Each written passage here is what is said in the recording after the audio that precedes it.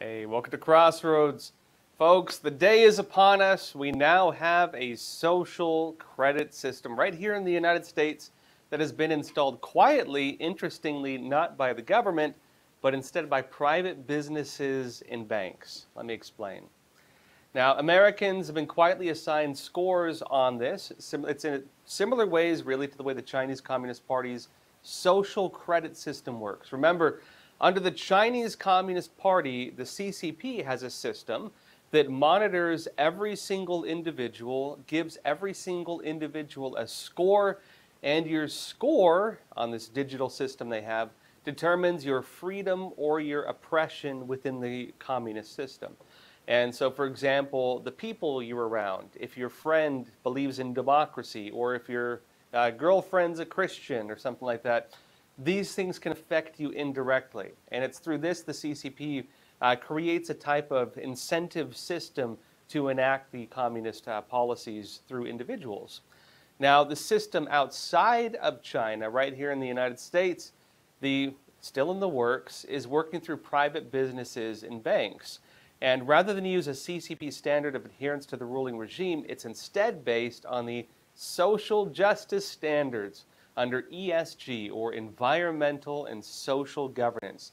You have ESG scores rather than a social credit score. Already, apparently, purchasing a gun, buying alcohol, or other items can affect your personal ESG score. And the scores allegedly also take into account which vendors you choose to buy products from. For example, a certain demonized pillow guy. Um, you know, might might get you might get you docked a few points, uh, unfortunately. Now it says here, this is the impact investor explaining it. It says a personal ESG score, your ESG score, evaluates an individual's performance and impact based on three main factors: environmental, social, and governance. ESG.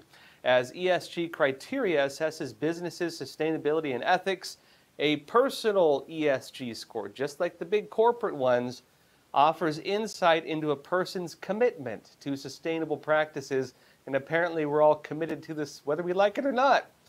It says, and it also looks into responsible decision making. Responsible by whose standards and sustainable by whose standards as well, I would ask. Uh, because frankly, I'd say that when they say responsible and social justice. You know, it, it has other implications depending on who's saying it.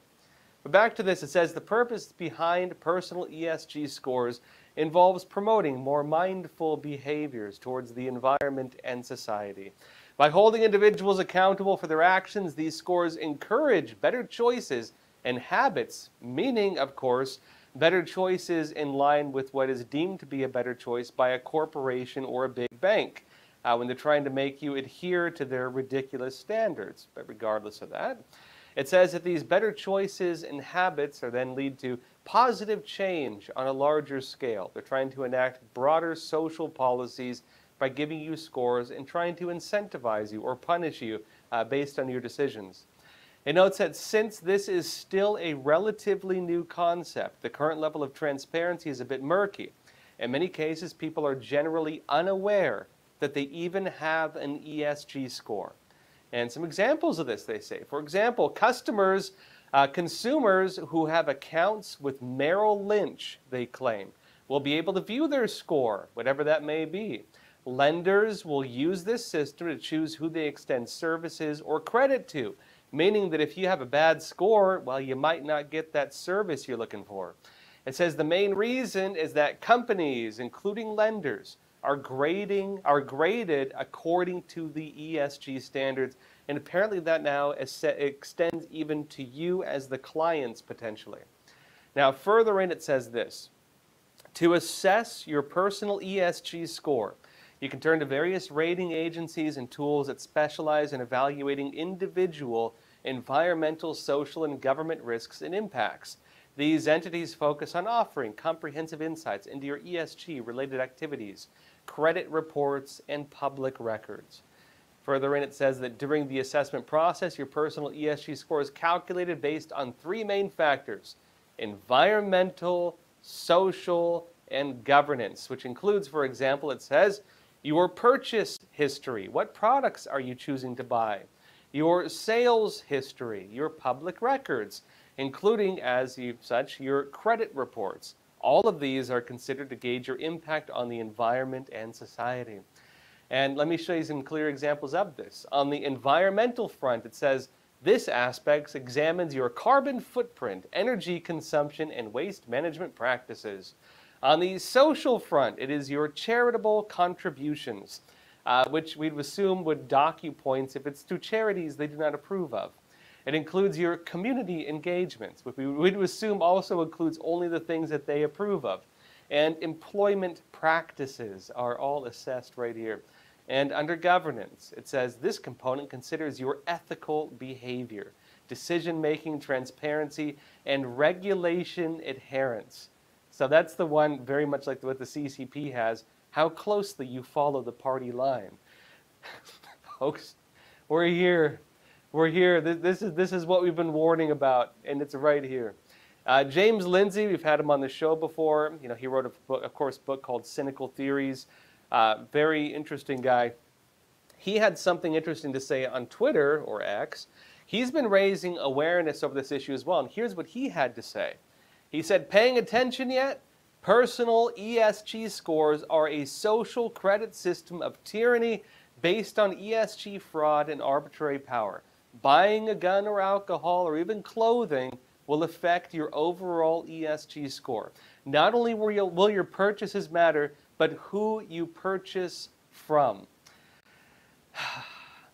Anyways, I want to show you what this actually means in practice, then we'll go a bit more into how it's being applied. So, I mean, you might be asking, I mean, you know, what, is it, what does it actually mean in the details, right? We talked about the big picture. This is back to the impact investor explaining some of that. And notes that environmental factors, your personal ESG score starts with environmental factors. It says these factors illustrate how your actions contribute to climate change and environmental degradation. A major aspect to consider is your company's carbon emissions and footprint, which encompasses your energy consumption habits, your transportation choices, and consumption of goods with high environmental impact, such as meat or fossil fuels. It says you can work on reducing your carbon footprint by using energy efficient appliances and light bulbs, incorporating renewable energy sources into your home, purchasing locally produced sustainable goods, opting for public transportation, or using electric or hybrid vehicles. Folks, digging into that. Remember, we've been talking about this whole global agreement by governors and mayors around the world, right? And one of the things they're pushing for, as we've been discussing on the show, I've shown you their documents, they want to start phasing out consumption of meat. They don't want people eating meat. They also believe that you should only be able to buy a few sets of clothes every year. They also want to start limiting your options when you go to buy products. They want to have vendors creating fewer products to limit the number of options to make buying stuff a more simplified process. They want to squeeze the markets, they want to eliminate certain products from the markets, and they are enacting this already through various incentives and punishments. Uh, part of this can be, for example, like we've seen, uh, things financing the electric car industry. And Biden recently, as you know, signed an executive order on this, uh, beginning to make it more difficult to buy a gas powered vehicle and limiting the supply of them. Uh, they're trying to force people to buy electric cars when obviously people don't want them. They're like rotting at the factory. They're like rotting in the car lots, basically, you know, decaying into, into piles of scrap, essentially. But because people don't want these things, they've found that they have to try to force people to want these things, which is what this is about. Now, it's not only just the adherence to the you know woke god of you know worshiping the environment or whatever the heck they're doing, right? Uh, the bowing down to the Greta Thunbergs of the world, like they want you to do in some places. It's not just that. It's also other things, which include even social factors. Under social factors, it says this that these play an essential role in your personal ESG score. This category evaluates how you contribute to societal well being through your actions, behavior, and choices.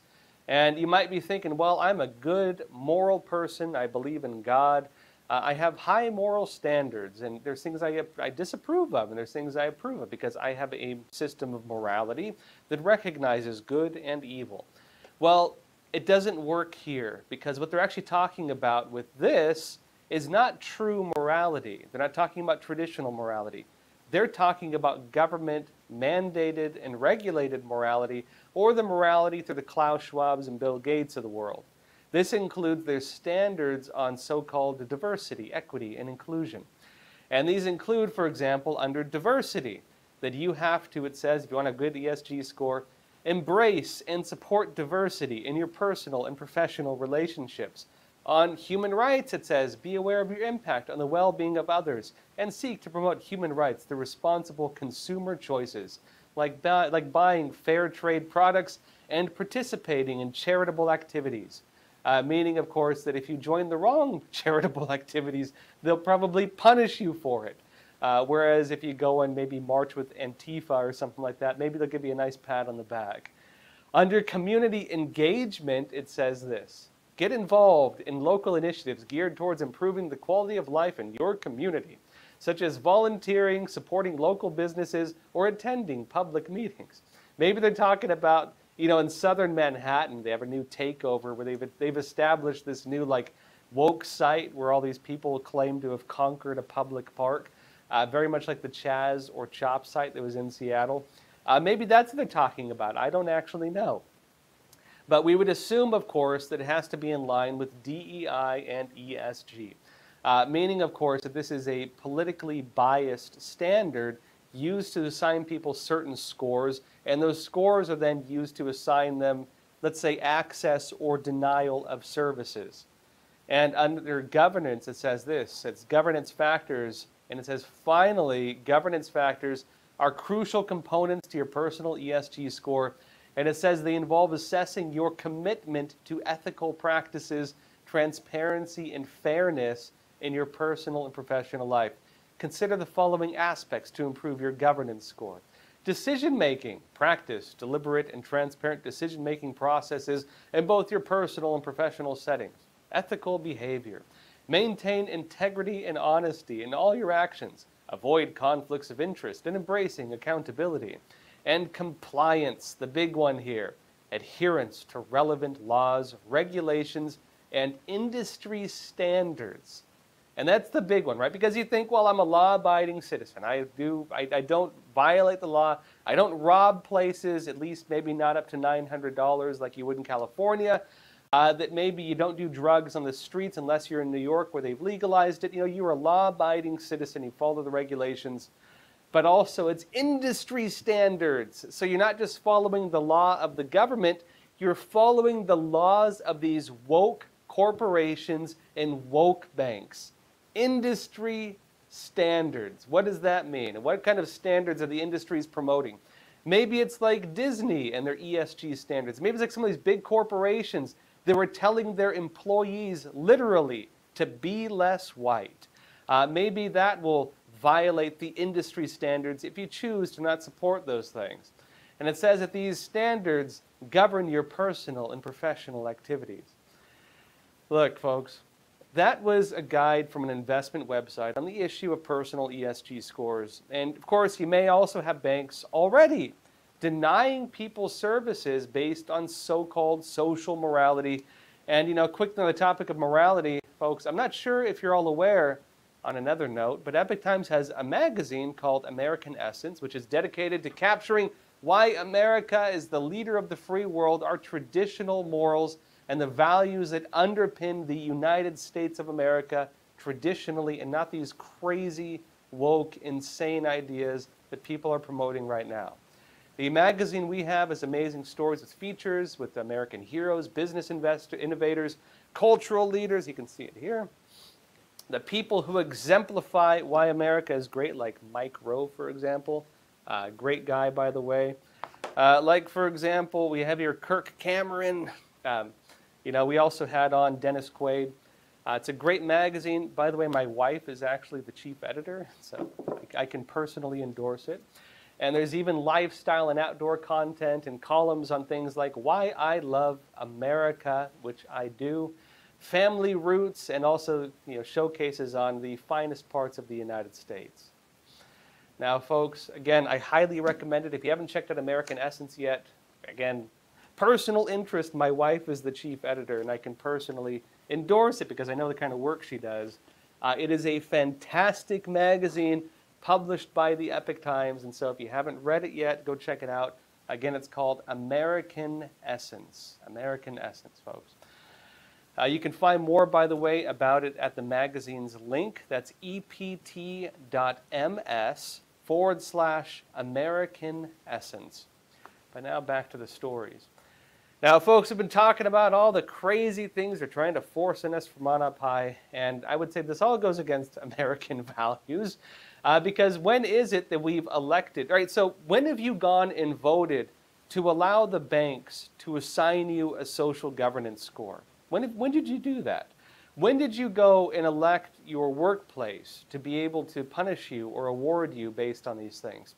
Uh, when did you go and elect these big businesses and corporate shills working together with this giant infrastructure to begin establishing standards to try to govern you? That you have to follow industry standards, not just the laws of your country. When did you elect these people? Well, if you're like me, you never did. You never voted for them. You never elected them, which means that they are unelected tyrants. And these tyrants are now trying to force upon us their own standards, which in many cases are sickening. Uh, these are twisted, wo- just woke, warped individuals trying to force things on people that they otherwise don't want, otherwise, it would happen naturally. Now, look, as we've been talking about, there are personal ESG scores, and these are systems very much like what you have under communist China. It's actually being put into practice right now by banks. And this ties into a practice currently in place called debanking. Let me show you a couple examples of this. Fox News said that nearly two dozen Republican state attorney generals signed a public letter addressed to two major voting uh, advisory firms asking them to treat all shareholders fairly and stop supporting their purported efforts to debank conservative clients. It says it led by uh, uh, Iowa AG Brenna Bird. The letter sent this week to Glass Lewis and Co. and Institutional Shareholder Services Inc. Proxy services provide recommendations to shareholders regarding corporate governance matters such as ESG and voting decisions. Express deep concern that the pair are prioritizing certain environmental, social, and government initiatives that allegedly violate their contracts. In other words, these groups, because remember, we are talking about these personal ESG scores, and one of the ways it's being applied mainly is against people who are you know, working through investment firms, if you're trying to get into Wall Street, these types of things. And these certain companies are looking at people's ESG personal scores as ways of deciding taking into account whether they want to work with them or not. That's one of the initial ways this is being done. But we even find something else, which is they're even debanking people. They're taking away their bank accounts.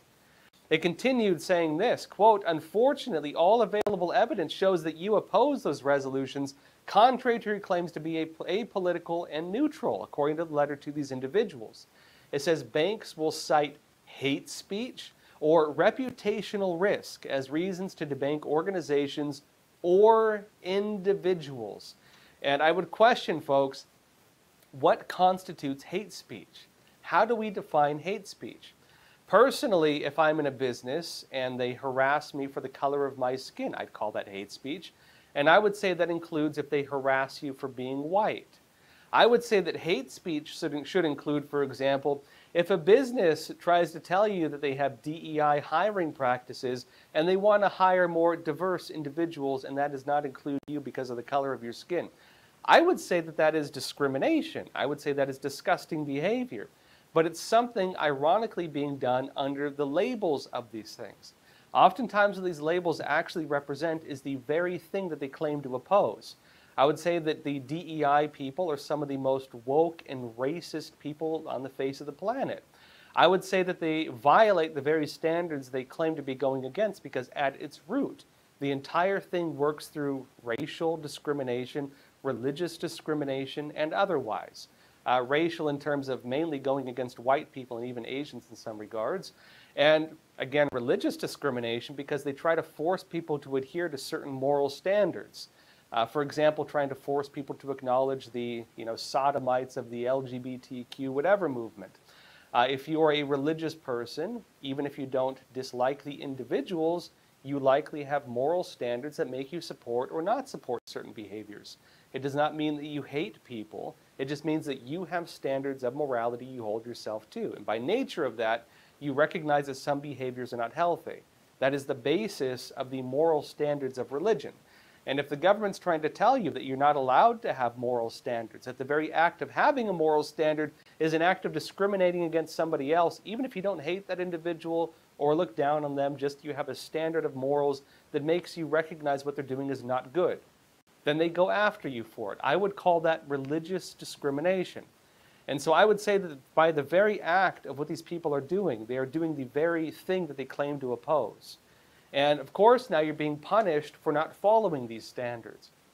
It notes, for example, that they take hate speech, reputational risks as reasons to debank not just organizations, but also individual people, meaning people like you and people like myself.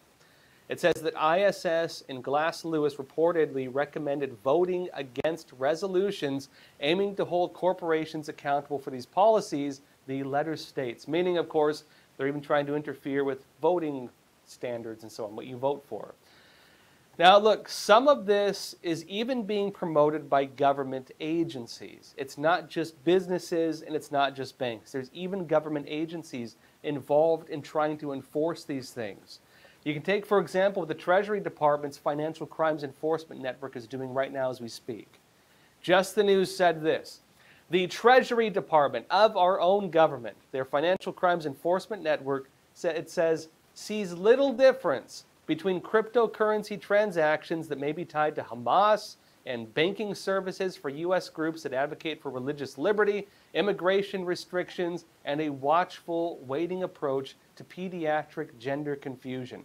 In other words, folks, if you're giving money, again, donations or whatever else to a terrorist group, and I would say that that should be kind of illegal. I think it is. That some of these organizations within our own government don't see that as being different from you donating to groups that advocate for religious liberty. And frankly, I'd say this is sick government interference with people's religious beliefs. If you donate to things that work for immigration restrictions, maybe you oppose mass illegal migration. And if you're against the watchful waiting approach to pediatric gender confusion, meaning you don't like the fact that they're like castrating little girls and little boys and telling them that Sally's a, Sally's a bill or something like that. If you go against those things, they regard you in similar ways as if you were donating to a terrorist organization. It notes that that's the impression from FinCEN's email to large banks and financial institutions, again, because the banks are one of the big things tied in with this. It says that includes Western Union and PayPal urging them to review a quote, hate group report and quote, hate symbol database by progressive activists, these woke madmen and insane people who've weaseled their way into our government. In the context, it says, of the January 6, 2021 Capitol riot, the great walkthrough of the Capitol building, uh, whereby individuals were trapped and framed and are prosecuted in ways that law has never been used before. Further, it says that the FBI, Department of Homeland Security, and National Counterterrorism Center, folks, keep that in mind. This is not just banks and stuff.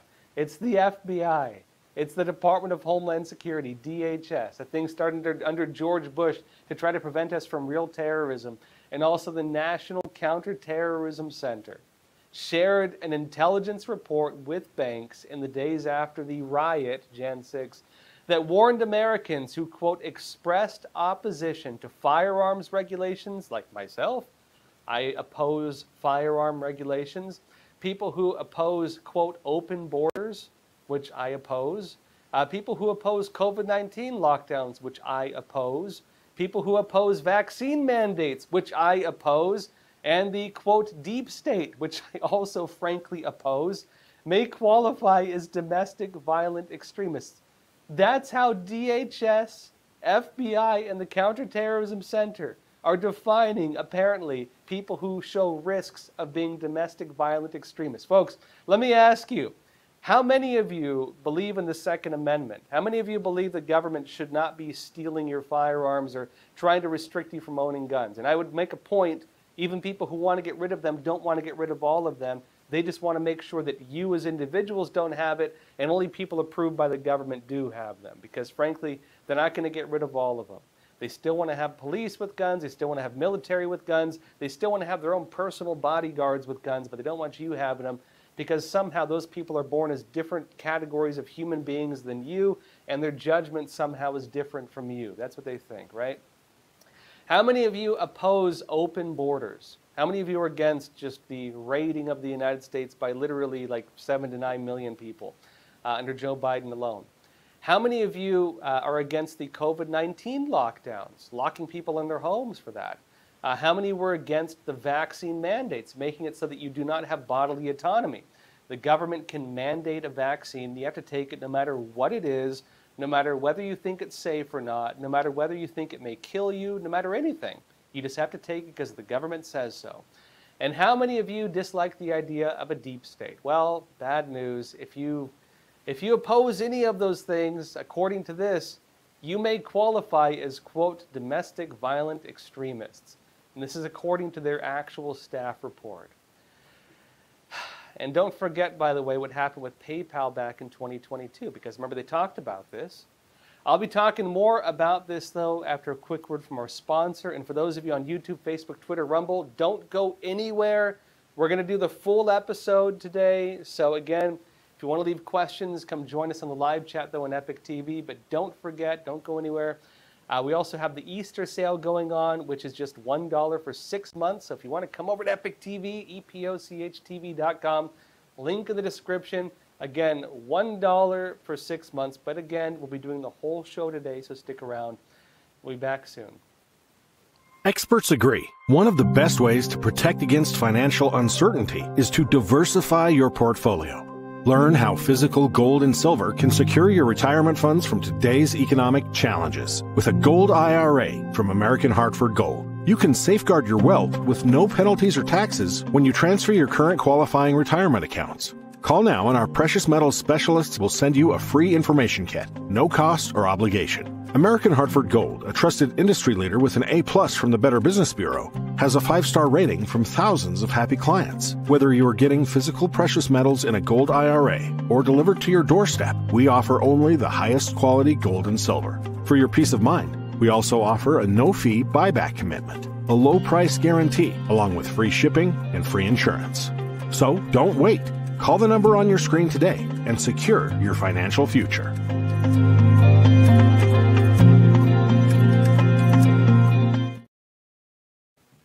Uh, welcome back. You might remember the drama around PayPal back in 2022 because this is important. We've been discussing how banks, financial institutions, even government agencies are trying to enforce new standards not on the law, but instead on your personal beliefs, your personal behavior in terms of buying products and so on, and again, punishing you based on this data. Now, back to PayPal, you might remember the company was rolling out a policy that would have allegedly, according to them at the time at least, they wanted to fine users, charge you $2,500 for spreading misinformation. And when they were criticized for this, and they were pretty widely, PayPal backed off of that immediately. Let me show you what happened back then, folks.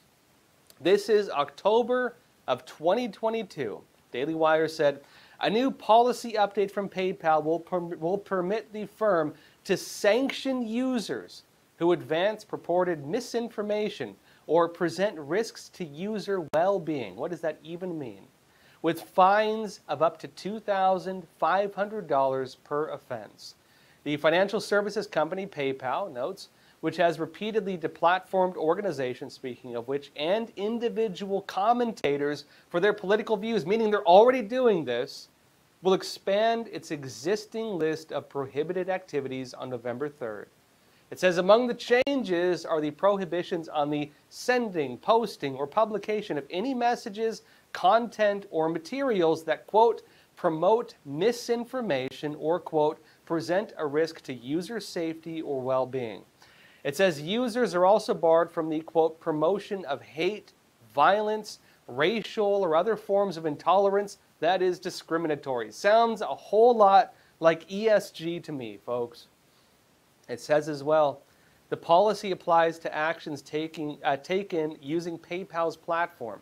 Deliberations will be made at the quote sole discretion of PayPal, meaning they're the ones who determine what is hateful and what is offensive and so on, and may subject the user to quote damages including the removal of $2,500 debited directly from your PayPal account per offense. It says the company's user agreement contains a provision in which account holders acknowledge that the figure is, quote, presently a reasonable minimum estimate of PayPal's actual damages due to the administrative cost of tracking violations and damage to the company's reputation. And remember those keywords damaging to the company's reputation, because that's the same thing that the big banks and investment firms and so on are saying as well that they're not just deplatforming you because they oppose what you say or what you do. They're deplatforming you because you damage the reputation of the business. And I question, how do you damage the reputation of the business? Uh, maybe it's because they work hand in glove with the woke media, with these you know corporate news outlets, ironically backed by many of the same parent corporations as these guys, and of course maybe even tied in with some of their investments that will attack people if they say things you're not supposed to say. Uh, the glorified thought police masquerading as free media uh, that you find operating in the houses of most of the big corporate media. Now, I should note on PayPal, they backed off almost immediately because the backlash against them for these ridiculous standards uh, were frankly so disturbing to most people. Um, I personally went and canceled every part of PayPal I possibly could as soon as I saw this uh, because I do not support a company that would do such a thing. I personally went into my PayPal accounts and tried canceling everything. Uh, I got rid of them as much as I could, and notably, they wouldn't let me quit all of them. Now, it says that they claimed it was just an error. Just an error. We didn't mean to say that. It just went out in our official announcements, but it was an error, right? But unfortunately for them, the damage was already done because people saw through the nonsense and they do not want to support a company that does such things. How is it that you get a digital payment company and they find that they have the right to try to police your speech, to try to police what you can or can't say or can or can't buy? Who are they to decide? And of course, that's also one of the big things people are looking at when it comes to digital currencies. Because if we adopt CBDCs, centralized bank digital currencies, run not by government, right, which is, of course, has to adhere to the Constitution and its protections on free speech, but run instead through banks and people like this, what does that mean? It means that they can enforce laws and enforce standards that are not constitutionally protected because they are private businesses that do not have to adhere to those things. And so one of the ways that this big corporate, you know, megalith system has found that they can go after individuals and enforce frankly communist or socialist ideologies on people and destroy family values and destroy morality and do these sick, twisted things that they say is about tolerance and whatever else, whatever labels they choose to slap on top of it. As they do that, they're able to police you, and in my opinion, even violate the Constitution, because, again, they're private businesses and not government. And I think this raises a big question of whether, frankly, we should continue allowing these, these groups and companies and so on to be able to manage money and manage accounts and even work with, for example, the Federal Reserve and otherwise, working with pseudo agencies given government power to an extent, the ability to print our money. Uh, the Federal Reserve, by the way, is neither federal nor, res- nor a reserve.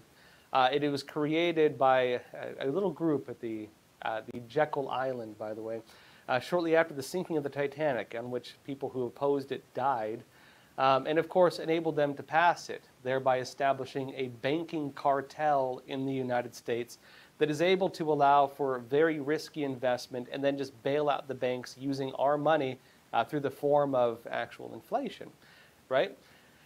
That corrupt cartel, and I, I would call it a cartel, right? The banking cartel was able to do these things because the government gave them the right to print our money, uh, to again, print tender and to make that the standard of currency for this country.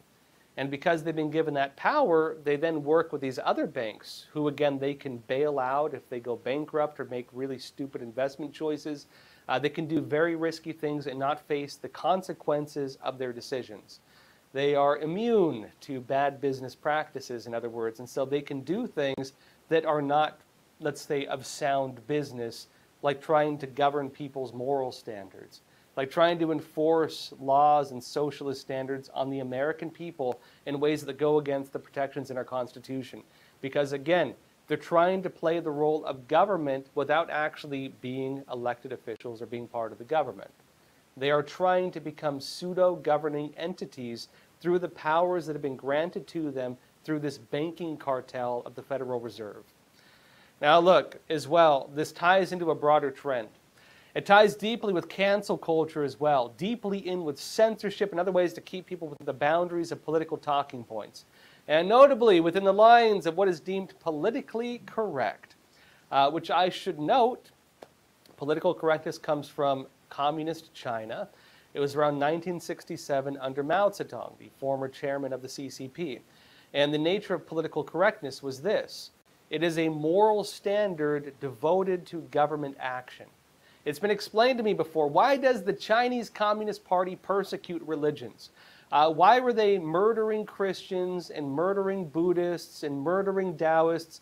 Why do they continue to murder these people? Why do they harvest the organs from living Falun Gong practitioners and then sell these on the market? Why do they do such things?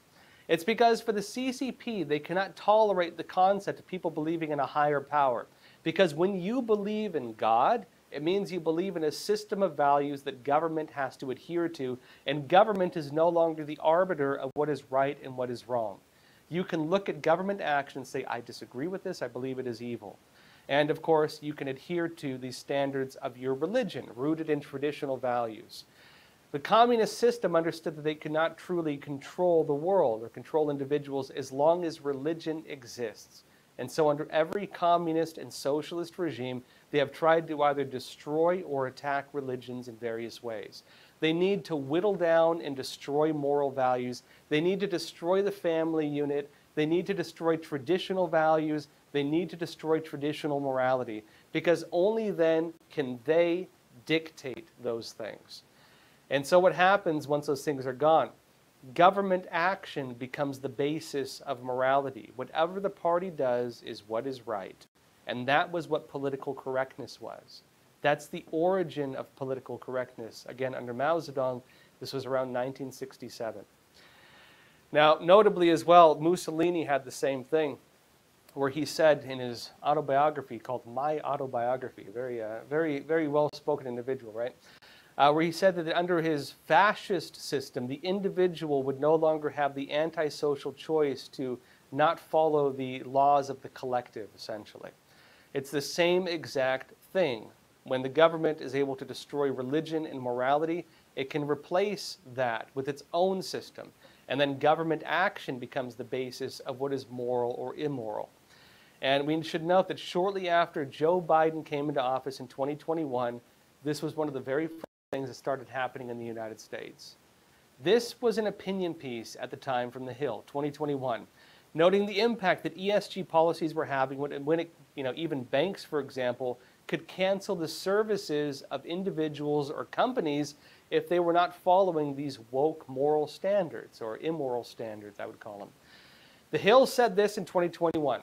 A disturbing trend has developed in which banks are declining to work with entire industries based on the desires of activists.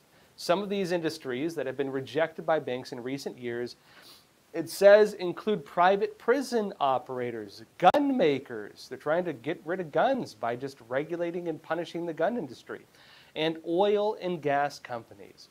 It says these decisions are all followed pressure from progressive campaigners, the woke madmen who are trying to influence government and try to control our lives from behind the scenes. It says, but if the trend continues, it could lead to discrimination of, or, and debanking of controversial, controversial only because the woke madmen dislike it, or disliked industries of all kinds. It says This is not in America's best interest, and this is why the government should adopt a proposed new regulation to stop it. Banks are creating a new version of redlining, this time against legal industries for political and ideological reasons and blaming it on vague risks to the bank's reputations. Again, folks, the bank cartel. The bank cartel is one of the most corrupt organizations on the face of the planet, tied in again with the Federal Reserve in my opinion at least. Now, it's on this again the threat of debanking against individuals. Because we talked a lot about going after big corporations, going after entire industries, but also individuals is one of the big parts of this. It's serious enough that in Iowa right now, the legislators are pushing a bill that would forbid banks from doing this. The Des Moines Register says state senators have advanced a bill that, and it's still in process, by the way, that would ban financial institutions from debanking or discriminating against people on the basis of their religious or conservative political beliefs. Advocates speaking on behalf of Iowa banks, credit unions, and businesses said a measure banning financial institutions from discriminating against people on the basis of their religious or conservative political beliefs was a solution in search of a problem that would hamper free markets. Now, look, of course, a lot of this has so far focused on businesses. Businesses, banks, some government institutions, and you know, not so much on individuals, right? With the exception of some outspoken influencers and public figures like myself, who's been canceled and attacked in many ways. But already things are shifting in that direction, right towards the individual. In fact, in Washington state, lawmakers just passed a bill that would create a hotline where people can not only report hate crimes, because, you know, if you commit a hate crime, it's terrible, but also report so called, quote, bias incidents. Not crimes, but incidents, and not hate, but bias. Now, Seattle Times says this Washington, meaning Washington State, will establish a non police hotline. It's a police outside of the police, apparently. And it says it will assist people who have been targeted by hate crimes and bias incidents. State lawmakers decided this week passing a new version of the bill that failed to advance last year. It says further that under Washington law, hate crimes are actions in which a perpetrator maliciously and intentionally causes physical injury or damage. In other words, you have to actually physically injure or damage something or someone for it to be a hate crime. And it has to be done because, again, an actual crime, injury, or damage to property because of an individual's race, color, religion, ancestry, national origin, gender, sexual orientation, gender expression or identity, or disability, which I'd say maybe is the same thing, right? It says established as a category in Washington in 2019, hate crimes also include hate related threats that cause an individual to reasonably fear harm. In other words, they expanded it to where it's not even you did something. You don't have to physically injure somebody, you don't have to physically destroy property. The individual can think that you are a threat to them. They can say that they're afraid of you. And you can be charged with a hate crime because they fear that you will harm them because of who knows why. These are felony offenses, punishable by up to five years in prison. And it goes beyond this because again, not only have they, they've expanded what constitutes a hate crime, that if someone has reasonable fear, you can go to prison for five years, right? It includes also this new one, SB 5427. And it says it defines bias incidents, not hate, but instead bias, and not a crime, but instead an incident, a bias incident, as quote, hostile expressions of animus that relate to a victim's actual or perceived race, color, ethnicity, religion, ancestry, national origin, gender, sexual orientation, gender expression, or identity or disability. It says that bias incidents don't include free speech expressions for or against the policies of foreign or domestic governments, the bill says. Now, look, of course, under normal law, hate crimes are usually defined as actual crimes committed that would have a motivation of hatred behind them you actually have to violate a normal law. You actually have to hurt somebody and so on, right? We've now gone beyond that to the extent that you could be guilty of a similar crime even if you did no normal crime. You did not commit any crime. The individual who is probably deeply, some individuals who are deeply insane, let's say, who have, uh, are suffering from gender dysphoria, uh, are suicidal because of the poor choices in their lives, or other things like this. They're crazy, right? They can fear that you may harm them. And if they fear that you may harm them, you can go to prison based solely on their fear. But it's even beyond that. Even if there's no crime, even if you did nothing to the individual, if they just believe that you are biased against them, you could be charged with a crime. Now, I should note there's another level of concern to this, which is even, frankly, it stretches into moral and religious grounds. If you don't believe in the trans agenda, for example, you could face charges of a bias crime since it includes so called gender orientation or gender expression whatever else. And there's also even the issue of these terms being overinterpreted in ways that may target people, frankly, just for engaging in free speech. And I would actually add to this, there's also circular logic to all of this. The irony is that it may be, in my opinion, religious discrimination to force somebody to acknowledge a practice or moral standard that may violate the standards of their religious beliefs. If you're a Christian or Muslim, you may not support the LGBTQ plus whatever movement. You may not believe in it. You may regard it as sodomy. You may regard it as a sin against God. And if that is your religion, who are they to say that you, that you can't say otherwise? Who are they to say that you cannot believe this, that your moral standards cannot encompass this? If someone is, for example, punished for opposing something that violates their religion, is this an issue of person discriminating against others? Or is it an issue of the religious believer being discriminated against by government law? I would say again, morality is not the realm of government. Government should not get involved in people's personal moral standards. And I would note too that frankly, the very basis of morality, if you have morals, it means that you believe that certain things are good practices and certain things are bad practices. If your moral standard suggests that you should maybe remain a virgin until marriage, that is your moral standard. And if you decide on that, it probably means you disagree with other people's choices in some instances. Who are they to punish you for disagreeing with other people's choices? It has skewed the very idea, I think, of what morality is. It's making it so that people if you're not allowed to have standards, if you're not allowed to have personal ethics, if you're not allowed to believe that some things other people do are not good, uh, well, who are they to say that? Because what will happen eventually is this. If people are not allowed to say, I oppose that, if people are not allowed to discriminate to an extent, because discrimination is what the, it's the process you use, frankly, to discern what is desirable and what is undesirable, right? It's not always a bad thing. If they begin regulating that, the trend that will begin is that the only acceptable thing will be a complete abandonment of morality. The only acceptable moral standard will be zero morality, that you will have to accept everything. You will have to approve of everything. You will have to say that everything is good and nothing is bad.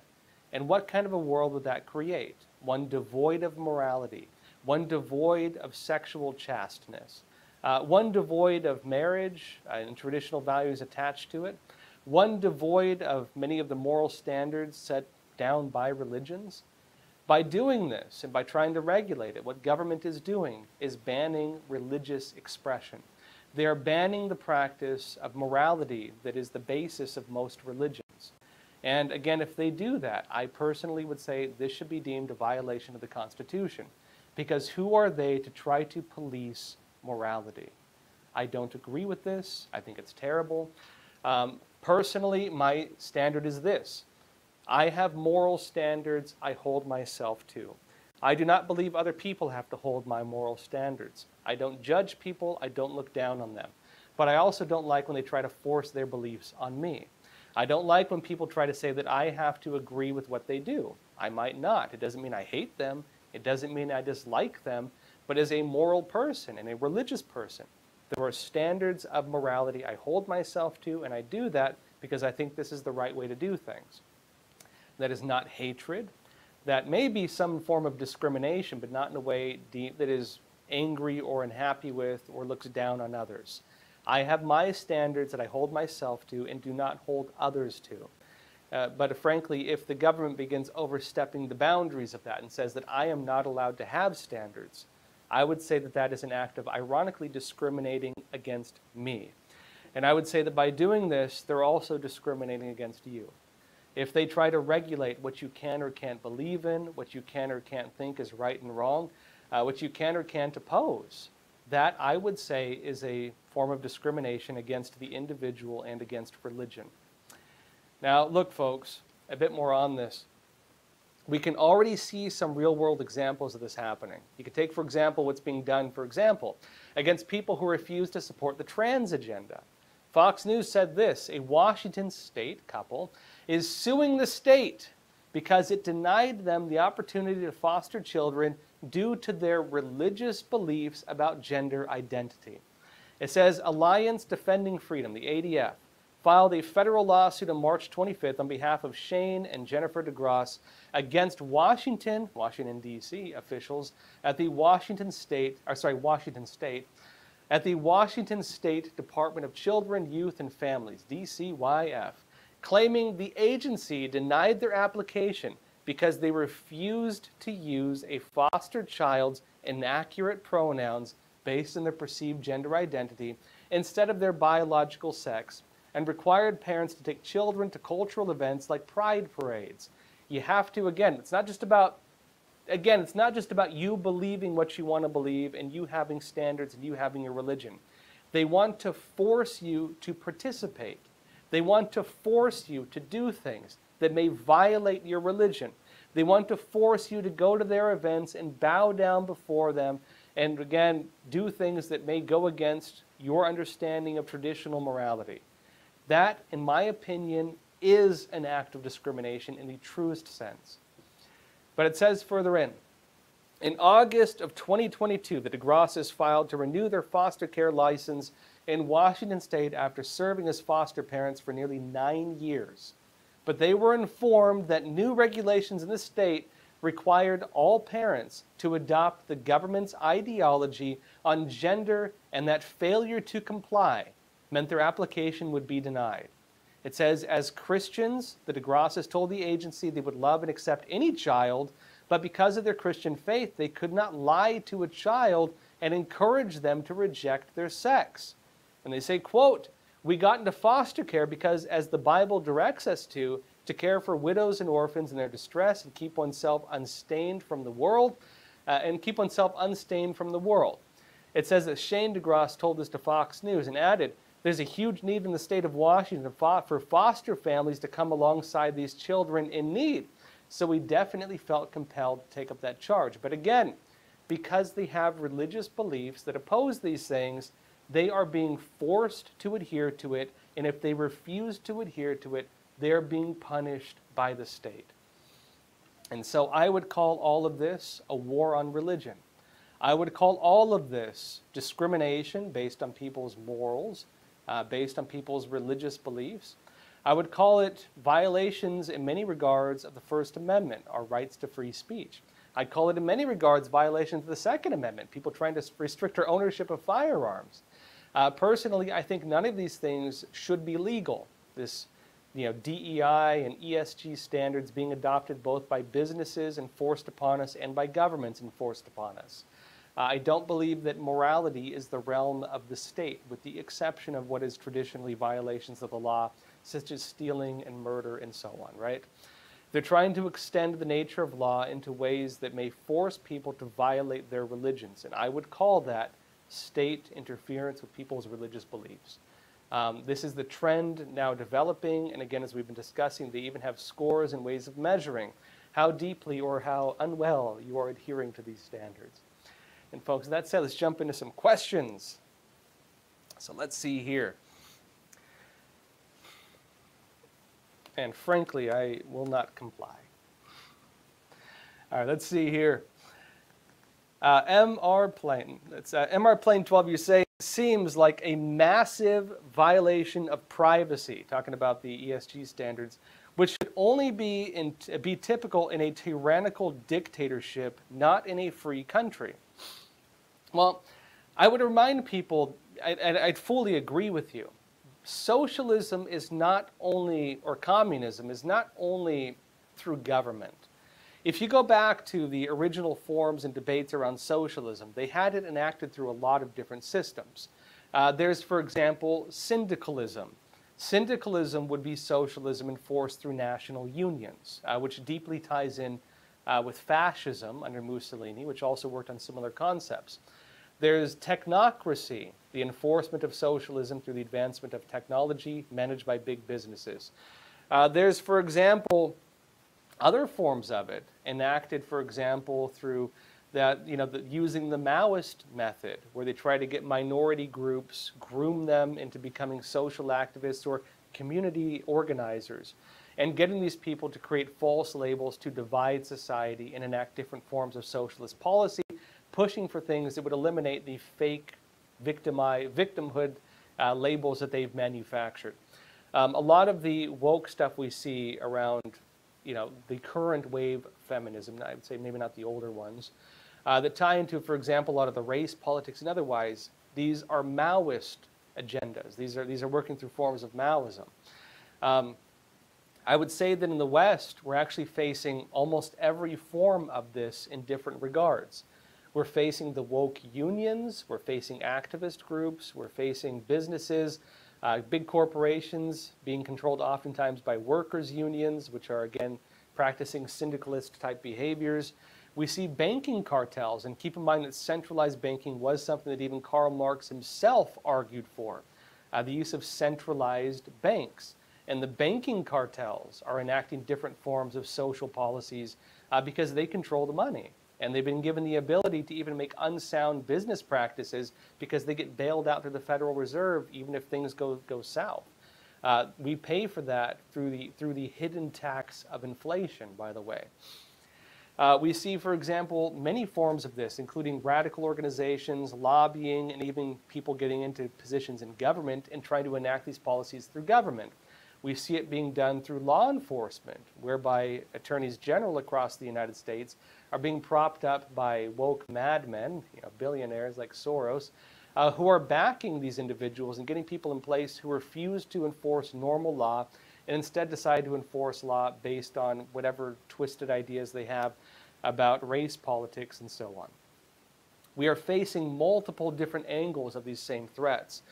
And I would say that yes, we are living under a tyrannical communist dictatorship through other means uh, being enforced by big business, unions, activist groups, and otherwise, which are trying in every single way to enact their policies, not just through social pressures, where they try to cancel you or attack you or go after you, but even through law and through government, which they're trying desperately to gain hold of currently. I would say that the threats against us in this regard are coming from almost every direction. And I would deem all of this, yes, very accurately, a tyrannical dictatorship through other means. Kit Keller is saying, Josh, I'm currently reading the nine commentaries. I highly recommend it, by the way. Uh, Epoch put out on communism slash CCP and its history. It's disturbing how many communist tactics discussed in the books are being used in America. I really hope more people can wake up to what's happening. Yeah, so briefly, the Epoch Times, many years ago, must have been around like 2006 or 7, around that time, uh, we published a set of nine commentaries in a book. It's called The Nine Commentaries on the Communist, on, on the Communist Party. Um, it was mainly a book against the CCP, and it detailed the history of the Chinese Communist Party, its evil ideology, how communism is a cult, like an evil religion, which it is. Uh, we described that in the book. Um, if you haven't read it yet, I can't recommend it enough. The Nine Commentaries also sparked in China what's called the Tuidang movement, the Quit the Party movement. And Chinese people, by the millions, in fact, I believe the number is, last I checked, was well over 400 million, have quit the Chinese Communist Party, the Youth League, or the Young Pioneers. The CCP is being dissolved from within through a moral awakening taking place in China, and that book helped spark that movement. I cannot recommend it enough. Again, Uh, you can read it for free on the Epoch Times website. You can also buy the book. Again, it's called The Nine Commentaries. And Kit, I'd say, yeah, if you read it, you'll start seeing a lot of similarities because as many Chinese dissidents know, and as many people who've escaped the Chinese Communist Party understand, what the CCP did in order to establish itself and then again establish its dominance in China is it almost mirrors a lot of what we're watching happening in the United States and other parts of the world right now. The same tactics, the same demonizing of history, the same destruction of moral values, uh, the same attacks on religion, the same things the CCP did, you can watch them happening right now as we speak, right here in the United States, uh, by these organizations trying to enact very similar policies right here in the United States. And so I'd say that book is not only important to understanding the CCP, it's important to understand through the context of that the movements and organizations active in the United States trying to do the exact same thing and trying to turn the United States into communist China, frankly. Uh, it's a fantastic book. We also have another one, by the way, uh, called The Specter of Communism is Ruling Our World. And the Specter series, The Specter of Communism is Ruling Our World, describes more the global communist system enacted in the West, tying in as well to China and so on. That's a very important book as well. I can't recommend it enough. If you haven't read it yet, be sure to read it. You can read it for free on the Epoch Times website. You can also buy the book as well. It's called The Specter of Communism is Ruling Our World. Um, American Woman, you're saying, do I get docked for reading slash watching only the Epoch Times? Or am I considered responsible for not reading, uh, reading lies by the media? Hmm. Yeah, um, given, given the list of things that uh, they deem as uh, possibly labeling you, I, would hate to break it to all of you, but we're probably all on the naughty list. So, hey, glad to have you all here. What can I say? You know, if there's enough of us, they can only do so much. Uh, frankly, I'd say actually that as crazy as this stuff sounds, it's failing. You know, look, for example, what happened to PayPal. As soon as they released that announcement, as soon as people saw what they did, people canceled them so hard that PayPal immediately backed off, threw its hands up, and said, We didn't do that. Or it was an error. It was an error. We didn't mean to say that. Yeah, it was an error they sent out through their official channels, right? Yeah, I'm sure. Uh, but regardless, you know, look at what happened with Bud Light. Look what happened to Target. As soon as people see what these companies and businesses and banks and financial institutions are, do, institutions are doing, they oppose it so hard that the individuals aren't the ones who fold. The institutions are the ones who fold. Um, frankly, one of the things I've witnessed in this country over the last few years is the degree of I'd say, moral solidarity of the American people. Despite the threats, despite the labeling, despite the propaganda and the lies from the big corporate media, despite the pressure from businesses and banks and woke organizations and crazy radicals like BLM and Antifa, despite all these groups trying to force you to adhere to their standards, I would say the overwhelming majority of people in this country have said, no, we will not comply, we will not do it. We don't believe in what you're doing. We think you're crazy. And um, I find that very encouraging, to be honest. I think the fact that people have not only rejected, frankly, what I would regard as evil, uh, these movements and groups and what they're doing, I would say it is metaphysically evil, frankly. Uh, what they're doing is evil, and I think the people standing up against it have shown a type of moral and religious solidarity against it and even an ability of discernment despite being bombarded with just constant lies and propaganda by the mainstream press. Um, I, it's encouraging, frankly. And I think that, uh, again, yeah, they probably do label us. I mean, case in point, Crossroads were still like, we're on YouTube at least, but you know, we've been demonetized since 2021. The channel has been basically frozen on YouTube since 2021. Like, you know, we've been, I've been canceled, I've been attacked every time I do a documentary, they, they roll out new attacks against me, which, which I have a new one coming out soon, by the way. So stay tuned for updates on that. In a couple of weeks, hopefully, I'll keep, I'll keep you updated on it. We're going to be going into what's really behind the border crisis. Um, speaking of getting attacked for speaking the truth. So we'll see how that one goes. Uh, but coming soon, folks. I'll keep you updated. Uh, last question from California Gal. You're saying, are these social scores a legal way of punishing Americans? Um, again, it's it's questionable. Well, yeah, yes, first off, but I'd say it's questionably legal because what it is is businesses trying to enact policies that the government cannot enact. And I do think there's enough pushback, for example, by Congress, at least currently, that these things are getting exposed and businesses are actually having to answer for it.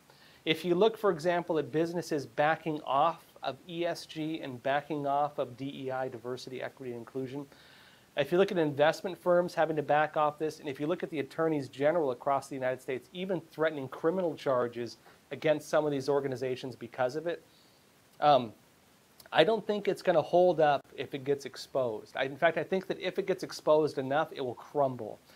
Uh, we also find examples, though, of, for example, the Biden administration going through backdoor channels uh, trying to work hand in glove with private businesses in order to enact these types of things. Uh, because again, they can't legally do it. They can't legally enact these policies, but they can encourage private businesses to enact these policies. And congressional investigations, mainly through Republicans, into what they call the weaponization of government, has begun expanding or exposing those types of things. Um, I will say it again. I've said it many times, many times before. I don't believe evil can withstand the light of truth. And I believe that when truth is brought to the forefront, uh, that lies are naturally exposed, and frankly, evil has nowhere to hide. And I would say that these evil policies are deeply attacked as soon as people see them for what they are. And so, yeah, solution, folks, always speak the truth. And uh, thank you for being here for that. All right, that's all for today. Uh, real quick, we have a promo for the Dark Origins of Communism series, which, if you haven't watched yet, I highly recommend. I did a series of episodes. They're short, like, you know, they're short enough to watch in a pretty short sitting. Uh, but it's a series of them, and I explain the history of communist movements and delve into even some of the occult religious beliefs that helped form them. Communism is an evil religion, I will say. And if you understand its history, it's frankly very obvious, but a lot of that history is now forgotten. I have a series on this, again, The Dark Origins of Communism. You can find it on EpochTV. Uh, so for those of you on YouTube, Rumble, Twitter, Facebook, again, check it out. Also remember, we have a special sale right now for Easter, uh, which is going to be lasting until Thursday. You can get six months of a subscription for $1 six months for $1, folks. So for $1, uh, you can get, of course, over to EpochTV and watch that series or the other documentaries I've done. And folks, thank you so much for being here. Uh, please help get the word out. Share this episode. Tell a friend or family about Crossroads, or hey, spend a dollar and get them a subscription. Uh, but as always, thank you so much. Please take care of yourselves. And as always, stay informed and stay free. Thank you. Every country communism gains power, authoritarianism and death followed in its wake. Communism promises a world without suffering, and yet, in its execution, does the exact opposite. Following Lenin's death, Stalin's 29 year reign killed an estimated 60 to 66 million people. More famines and purges would occur. The very peasants that communism was supposed to benefit instead starved to death under its rule. The party dictates what is right and wrong. Mao ended up killing between 50 million and 70 million people. As an investigative journalist, I want to understand why.